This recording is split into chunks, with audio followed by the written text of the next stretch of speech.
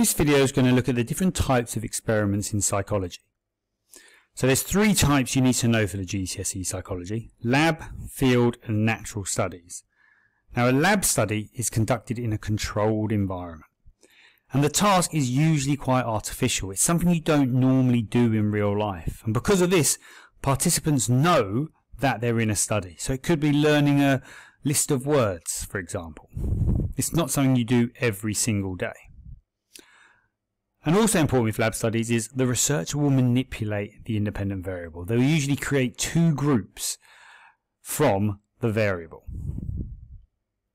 Now field studies on the other hand happen in a more natural setting, so participants don't know they're actually taking part in a study. And again, the researcher is manipulating something in that environment.